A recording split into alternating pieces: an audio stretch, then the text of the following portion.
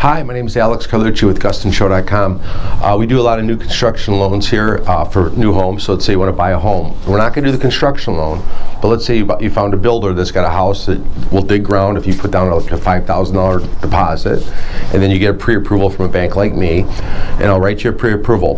Now, one thing you have to worry about on new constructions homes is um, the tax the taxes on the home. So there's no tax bill on a new home yet. So they, it looks like it's only $300 a year because there's just a piece of land there. But the underwriters are going to make you use what's called the mill rate. They're going to ask you to, you know, figure it out the mill rate, which the county has that mill rate, multiply it by it, divide it by this, get this, blah, blah, blah. It's a really complicated formula. But it usually works out to be to 2 3% of the purchase price, which is way higher than your actual tax bill is going to be. So for a $300,000 house, they make, make you escrow for $9,000 a year taxes, qualify you for $9,000 a year in tax payments. So that would be, you know, $700 almost in, in payments per month, so you have to qualify for. So it really hurts what you qualify for when you buy new construction. So be wary of that. Um, the process is they always want you to go to their lenders, which always bums me out if you want to get any closing cost credits. So I think that's kind of a, a bad move.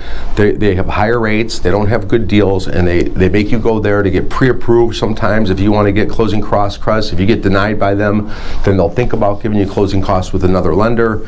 It's kind of, I think it's, it seems a little crooked to me, but that's how builders like to do it. They like to direct you to their lender, and they want to make money on the mortgage, and they want to make mortgage money on the sale of the home. So it's kind of crooked to me. Um, but be wary of that. Um, the rest of it's great. The process of closing um, new constructions, a lot of times they miss the dates, and because we don't, we because we don't, we can't get the certificate of occupancy fast enough, we miss the dates. So as soon as they get that certificate of occupancy, they want to close immediately, and it takes us like a week to close. So it's really kind of complicated at the end. It gets messy, but besides that, it's a great thing. You get to move in your house, brand new, no one's ever lived there. If you qualify for the higher tax rate for that first year until it gets assessed by the county, then it's no big deal. I say go go ahead and buy it. It's a, it's a great way to get into a home. It's new construction, but be careful of a couple of these pitfalls.